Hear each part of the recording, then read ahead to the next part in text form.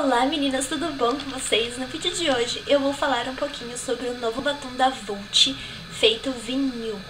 Então bora lá pra resenha. Eu recebi da marca esses dois batons aqui, que um é efeito vinil laqueado e o outro é uma cobertura que você pode transformar qualquer outro batom uh, em efeito vinil, tá? Então ele não é preto assim, o glossinho dele é branco e tal, ele é só uma cobertura pra você passar por cima de outro batom. Se não me engano, são quatro cores que a Vult lançou. Eu recebi a cor que não tem nome na embalagem, né, né, Dylos? Não tem nome na embalagem, então não sei qual cor é essa.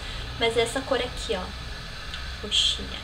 Começar pela embalagem. Eu vou falar dessa daqui, que é o batom é uma embalagem tipo até de gloss, assim, de batom líquido, que nós já estamos acostumados, que é uma embalagem que funciona, uma embalagem tranquila, achei até bonitinha, porque a cor vem aqui e aqui é prata, gostei bastante.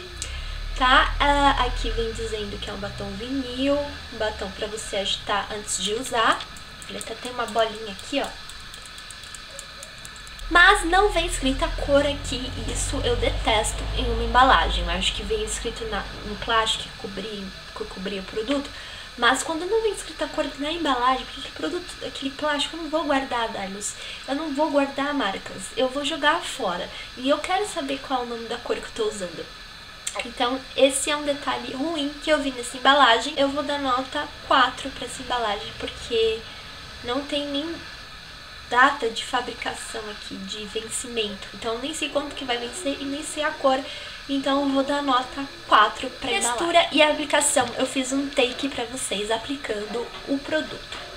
A textura ela é bem líquida quando passa nos lábios, mas eu não achei tão difícil. Ela também não é tão fácil, mas também não é tão difícil. Ela é ok de se passar, sabe?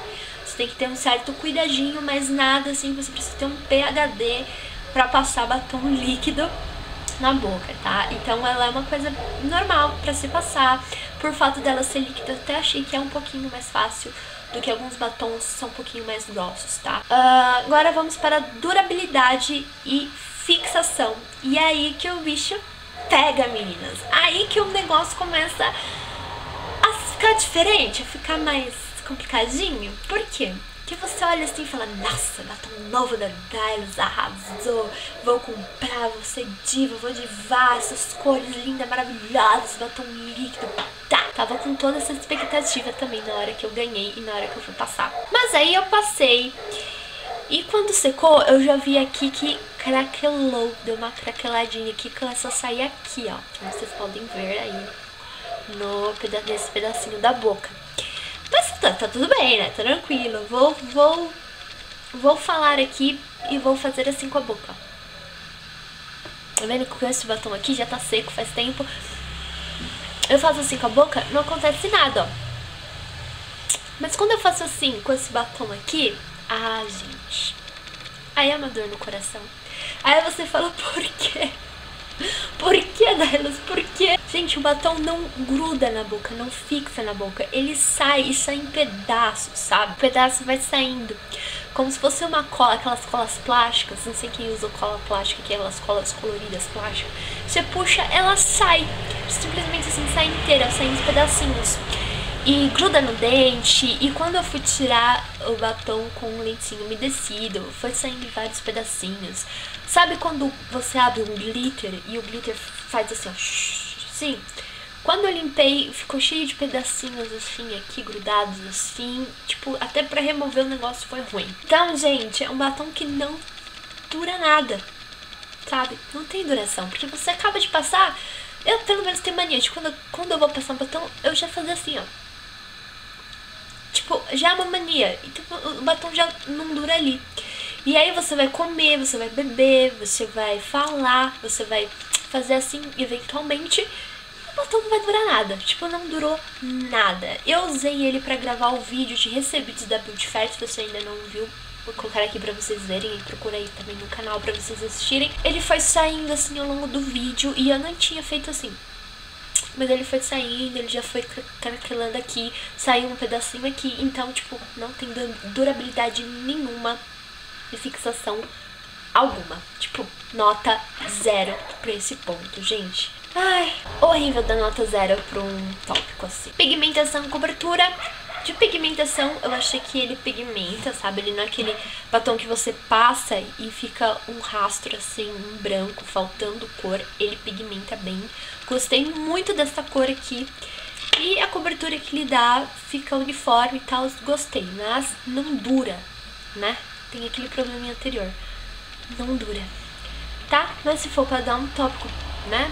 Por, por esse tópico, eu vou dar nota 4. Fragrância, vamos lá, vamos cheirar, porque eu não, confesso que eu não cheirei.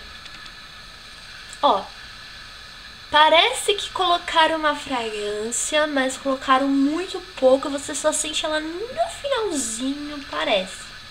Parece que dá um cheirinho pra esse produto, mas tá muito se misturando com o cheiro químico. Então eu sinto dois cheiros aqui, um cheiro de fragrância dos outros batons da Dylos e um cheirinho de químico. Mas não influenciou ao passar nos lábios, não senti isso. Então eu vou dar nota 4 só por, por essa mescla de cheiro. O preço, gente, eu vou devo confessar que eu não sei o preço desse produto, porque eu acho que a Dylos ainda não lançou. Eu não sei se eles lançaram na feira para as blogueiras testarem e verem se algum achava bom esse produto. Tentei pesquisar na internet, não, não achei preço, porque eu acho que eles ainda não lançou. E Dylos, vocês nem devem lançar ele assim. Vocês têm que lançar ele bem reformulado, tá? Porque é um, uma proposta legal, são cores legais, são cores bonitas. Só tá faltando vocês dar essa arrumada aí, tá? Pra ficar bom. Então, se custasse, sei lá, 20 reais, você custasse um real, eu daria zero pra esse tópico, porque não vale nem um real isso aqui. Porque você não vai usar isso aqui. Você vai passar e você já vai ter que tirar. Você vai conseguir ficar por mais de 5 minutos com isso aqui na boca. Então, isso aqui, ganhado, não saiu caro porque eu ganhei, né, gente? Mas é um ganhado que eu não vou usar mais. Eu usei uma vez e agora eu tô usando de novo pra resenhar. E é uma coisa que eu não vou usar mais de novo. Então, gente, nota zero de novo pro outro tópico com dor no coração. Mas é zero. Então, a minha opinião sobre esse batom é: a cor é linda, embalagem bonita, tava super é, com expectativas quando eu vi esse batom lá na feira que eles apresentaram pra gente. But não dá pra usar. Quem que vai usar isso aqui, né, delas? Não dá pra usar. Então, a marca tem outros produtos que eu amo, como a sombra de sobrancelhas, que eu uso todos os dias, lencinho umedecido que eles estavam lançando na feira, ótimo. Mas esse batom aqui, né, gente, não deu. Tem esse daqui que eu quero testar em outro batom. Pra, vamos ver se, né, pelo menos esse. Vamos lá. Mas, ó, eu tô fazendo isso, ó. Eu não conseguia fazer com outro batom. E ele deixou um efeito molhadinho, né? Que é o efeito vinil, que é um efeito meio gloss, assim. Então esse daqui vale a pena. Não vamos, né, esculhambar, dar eles assim ao todo, né? Porque esse daqui tá valendo a pena. Não sei quanto custa, porque a marca uh, não falou. Mas esse daqui que deixa o, o, ou os outros batons com efeito vinil laqueado, é bom. Eu tô curtindo ele aqui. Tô pensando até em usar continuar usando esse daqui dá pra usar. Esse daqui eu gostei, dou uma nota ok pra ele, tipo, né? Não sei quanto custa, mas dou uma nota muito boa pra esse daqui. E a nota da resenha foi uma nota de média 2 pro produto, mas eu achei que 2 foi até generosa, né? Ele deveria ser um produto zero, porque eu acho ele um produto zero, na verdade. Então eu fiz esse vídeo para quando a Dylos lançar, se você vê em algum lugar, você não comprar por não sei quantos dinheiros, mas não jogar seu dinheiro fora, porque qualquer um real que seja isso daqui, você vai estar tá desperdiçando o seu dinheiro. Então, este vídeo é um vídeo de alerta para ninguém comprar este produto, infelizmente. Vamos esperar a Dylos reformular, que nem eles reformularam a base, na é verdade, e ficou super boa. Vamos esperar que eu tenho certeza que a Dylos não vai jogar essa ideia fora, vão reformular e vai ficar muito legal pra gente usar na próxima vez. Espero que vocês tenham gostado dessa resenha. Um super beijo pra vocês. Se inscrevam aqui no canal, dá um curtir se você gostou desse tipo de resenha aqui. E se inscreve lá no meu Instagram também, porque eu tenho Instagram. Vai lá, tá bom? Um super beijo. Tchau, tchau.